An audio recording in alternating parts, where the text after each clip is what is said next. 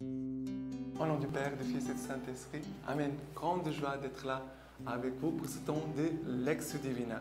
Aujourd'hui, nous sommes le 22 juillet et aujourd'hui, nous célébrons Sainte Marie-Madeleine, l'apôtre des apôtres. Parce c'est elle qui a eu la joie de rencontrer Jésus ressuscité la première le matin de Pâques et à qui Jésus a confié une mission, aller dire à mes frères que je les précéderai en Galilée, que je suis vivant, je suis ressuscité.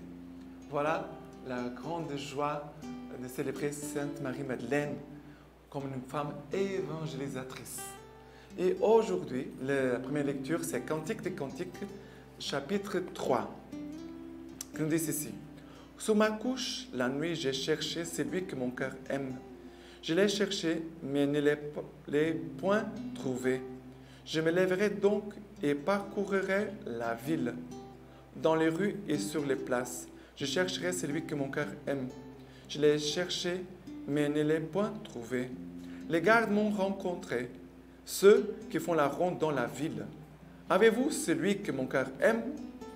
À peine les avais-je dépassés, j'ai trouvé celui que mon cœur aime. Je l'ai saisi et ne le lâcherai point. Très beau ici, ce passage, moi, c'est mon livre préféré, les Cantiques des Cantiques, qui parle sur le bien-aimé que c'est Jésus, la bien-aimée que c'est notre âme, qui, nous parle de cette soif d'amour que nous avons en nous, de rencontrer Dieu, mais aussi les grands désirs d'amour que Dieu a de se rencontrer avec nous. L'amour demande toujours une rencontre. L'amour demande toujours la rencontre. Et ici, nous parle de, la bien-aimée, ça veut dire notre âme, qui cherche, Dieu cherche, mais euh, qui, qui, ne trouve pas. Elle ne trouve pas. Mais une chose très importante, dans la nuit, elle cherche son bien-aimé, elle ne l'a pas trouvé encore, mais elle sort pour aller le trouver. Et elle sort dans la certitude, certitude que c'est lui qu'elle cherche, c'est le bien-aimé. Vous avez vu celui que mon cœur aime. Vous avez, avez-vous celui que mon cœur aime? Un amour inconditionnel. Dieu nous aime d'un amour inconditionnel. Dieu ne, m'aime pas parce que je suis portugais, ou parce que tu es camerounais, ou parce que l'autre est brésilien. Non. Dieu nous aime d'un amour, inconditionnel. Si je suis aujourd'hui bien, si je ne suis pas bien, si je, suis, je suis dans un état de grâce et de sainteté, ou je suis dans un état de péché, Dieu m'aime d'un amour inconditionnel, t'aime d'un amour inconditionnel. Très important. Et, mais en même temps, tu cherches. On doit chercher. La divina, c'est pour nous faire chercher celui que mon cœur aime. Parce que dans le cœur de toute personne, de tous les êtres humains, il y a ce, cri. Je cherche celui que mon cœur aime. Mais, regardez, celui que mon cœur aime, c'est tourné vers Dieu, orienté, doit être orienté vers Dieu. Qu'est-ce qui se passe? Il y a en nous une soif d'amour, d'un amour absolu, inconditionnel et éternel. Mais qu'est-ce qui se passe? La personne qui n'est pas orientée, tournée vers Dieu, pour chercher les bien-aimés de son âme, celui qui peut combler son cœur, il va se tourner vers les créatures, les biens de cette terre. Il va chercher, combler son vide, son cœur, de manque d'amour. Il y a beaucoup de personnes qui ont beaucoup de manque d'amour dans leur cœur, qui n'ont pas reçu un amour paternel, qui n'ont pas reçu un amour maternel, paternel, parfois même l'amour de ses frères et sœurs. Pas, il y a beaucoup de personnes qui n'ont pas reçu beaucoup d'amour sur cette terre. Bien sûr que même quelqu'un qui a reçu beaucoup d'amour d'un père, d'une mère, d'une bonne famille, cette personne aura toujours soif de Dieu. Pourquoi? Parce que les, créatures ne pourront toujours jamais, jamais étancher la soif profonde du cœur de la personne. Jamais. Nous avons, nous, en nous, chacun de nous, une mesure, euh, une soif d'amour que personne sur cette terre peut la combler. Seulement Dieu peut, la, peut combler. Mais c'est vrai que quelqu'un qui manque d'amour, qui n'a pas d'amour, et s'il ne connaît pas l'amour de Dieu, qui n'est pas orienté vers Dieu, certainement, il va se tourner vers les biens de la terre, les créatures de cette terre. Il va essayer de remplir son cœur. Mais il sera toujours malheureux. Toujours malheureux. Et, parfois, cette recherche d'amour peut faire, tomber les gens dans des pièges et des, on peut dire, peut faire la personne se trompe complètement, même dans les péchés. La personne tombe dans les pièges des péchés graves qui vont contre même leur vocation et euh, contre la vocation. Euh, moi, comme prêtre, si je ne, à chaque jour, si je ne bois pas de l'amour de Dieu, je, serais très tenté de chercher dans les créatures. On doit, on doit avoir conscience de ça. Nous, devons vivre. Un équilibre. L'amour des créatures, que c'est important pour nous. L'amour de mes frères et sœurs, c'est important pour moi.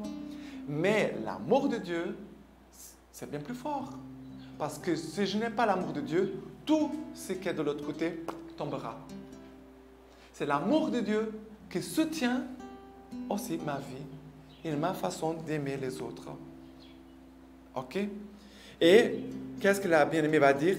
Je l'ai saisi, euh, j'ai trouvé celui que mon cœur aime. Je l'ai saisi je ne, et ne le lâcherai point.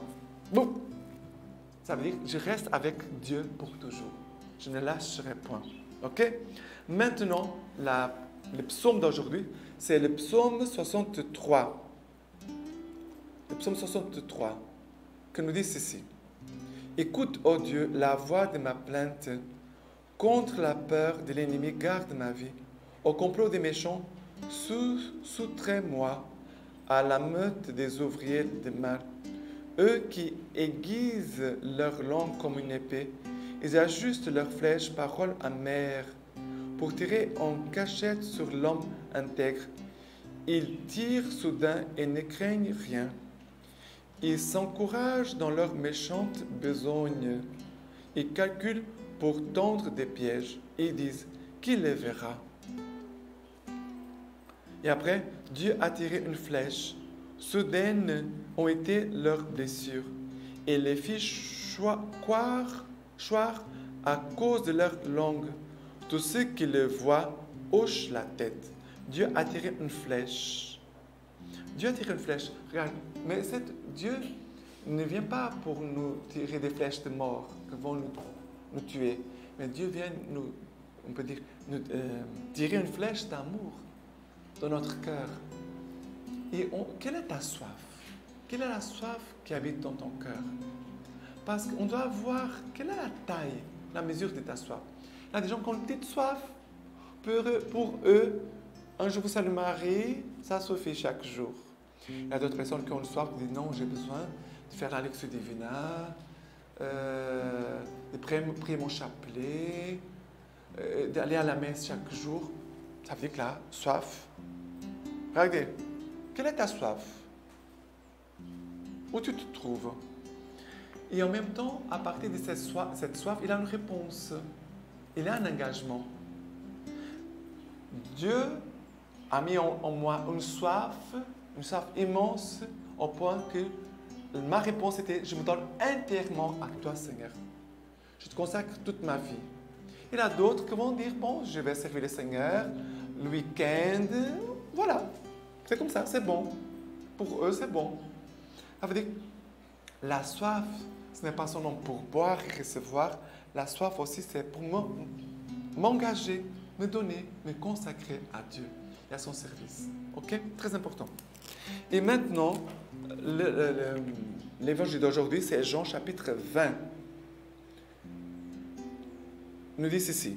Le premier jour de la semaine, Marie de Magdala vient de bonne heure au tombeau, comme il faisait encore sombre, et elle aperçoit la pierre enlevée du tombeau.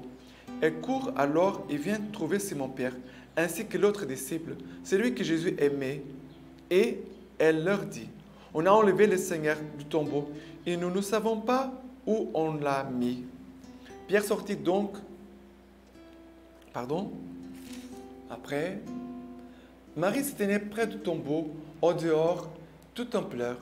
Or, tout en pleurant, elle se pencha vers l'intérieur du tombeau et elle voit deux anges en vêtements blancs assis l'un là, assis là où avait reposé le corps de Jésus, l'un à la tête et l'autre aux pieds.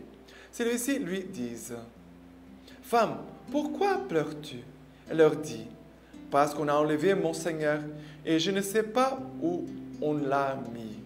Ayant dit cela, elle se retourna et elle voit Jésus qui se tenait là, mais elle, mais elle ne savait pas que c'était Jésus. Jésus lui dit, Femme, pourquoi pleures-tu? Que cherches-tu Le prenant pour le jardinier, elle lui dit, Seigneur, si c'est toi qui, qui l'as emporté, dis-moi où tu l'as mis, et je l'enlèverai. Jésus lui dit, Marie. Se retournant, elle dit en hébreu, Rabboni, ce qui veut dire maître. Jésus lui dit, Ne me touche pas, car je ne suis pas encore monté vers le Père, mais va trouver mes frères et dis-leur, je monte vers mon Père et votre Père, vers mon Dieu et votre Dieu. Marie de Magdala vient annoncer aux disciples, j'ai vu le Seigneur, et qu'il lui a dit cela. Alors, Marie Magdalène, Magdala, Magdala, ça veut dire le dieu du village d'origine. C'est pour ça qu'on appelle Marie de Magdala, parce qu'elle habitait à Magdala. Alors, qu'est-ce qui se passe? Marie vient au tombeau très tôt. Regardez la soif, la soif de cœur Marie. Elle va à la rencontre de Jésus, même s'il était mort, mais elle voulait être proche de lui. Elle, voulait aussi embaumer le corps, le corps de Jésus. Un acte d'amour.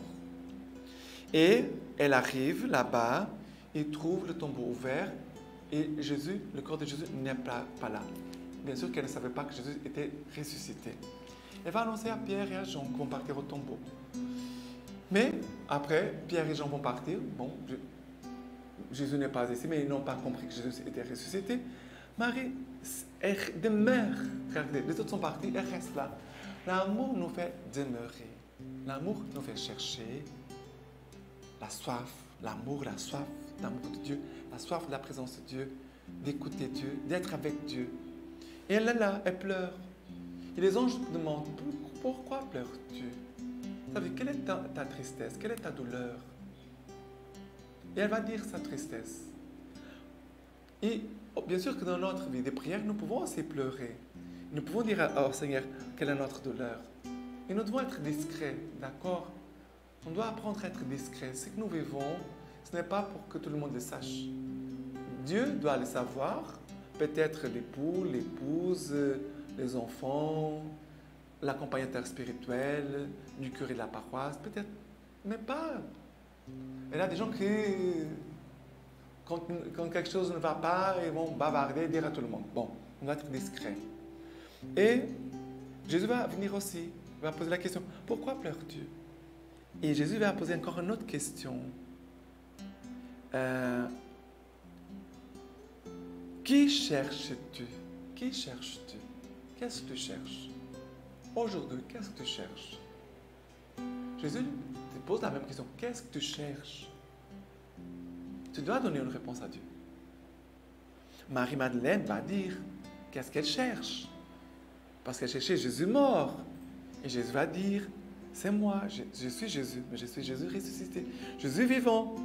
Et comment elle va reconnaître Reconnaître par la voix. Jésus va lui dire Marie. Ça veut dire que c'est lui qui se nourrit de la parole chaque jour. Il va être sensible à la voix de Jésus. Il va reconnaître la voix de Jésus. Il va reconnaître la voix. Parce que souvent, il a beaucoup de voix qui montent autour de nous, parfois même dans notre cœur. Quelle est la, la voix de Jésus?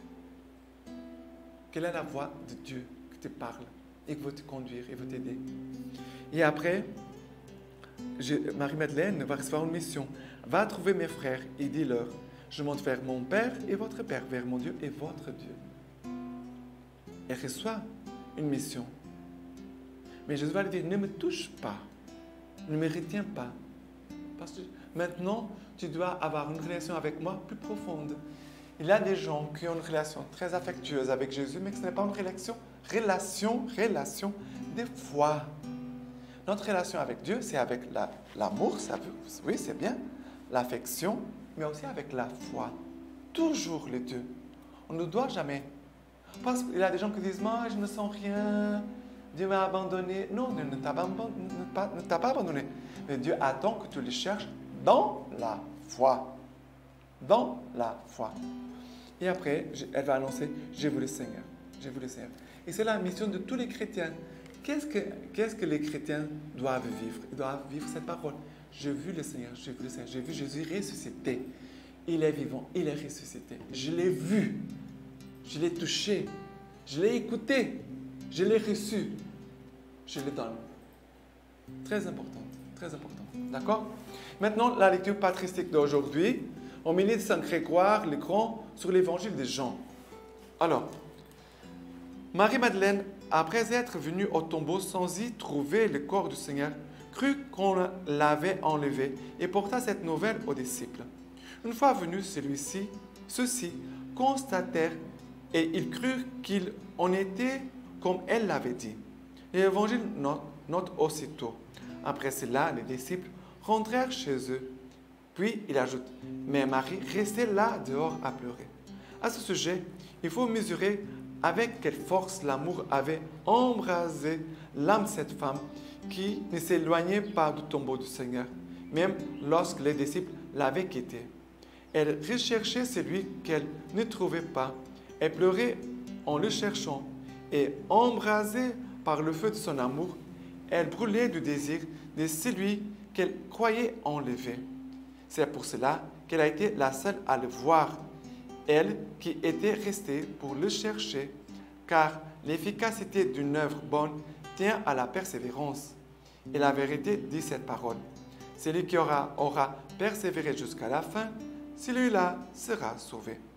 Elle a donc commencé par chercher et, et elle n'a rien trouvé. Elle a persévéré dans sa recherche. Et c'est pourquoi elle devait trouver ce qui s'est produit. C'est que ses désirs ont grandi à cause de son attente. Et en grandissant, ils ont pu saisir ce qu'ils avaient trouvé. Car l'attente fait grandir les saints désirs. Si l'attente les fait tomber, ce n'était pas de vrais désirs. C'est dans, dans tel amour qu'on brûlait tous ceux qui ont pu atteindre la vérité. Aussi, David dit-il, Mon âme a soif de Dieu vivant. Quand pourrais-je parvenir devant la face de Dieu? Aussi l'Église dit-elle encore dans les cantiques des cantiques, Je suis blessé d'amour, et plus loin, mon âme a défailli. Femme, pourquoi pleures-tu? Qui cherches-tu?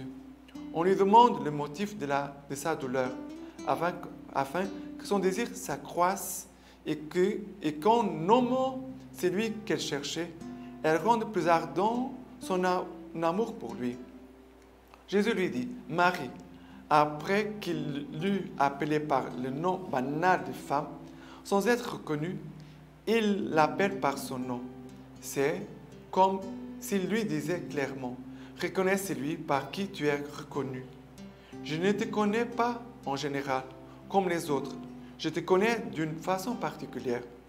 Appelée par son nom, Marie reconnaît donc son Créateur et elle l'appelle aussitôt Rabboni, c'est-à-dire maître, parce que celui qu'elle cherchait extérieurement était celui-là même qui lui enseignait intérieurement à le chercher.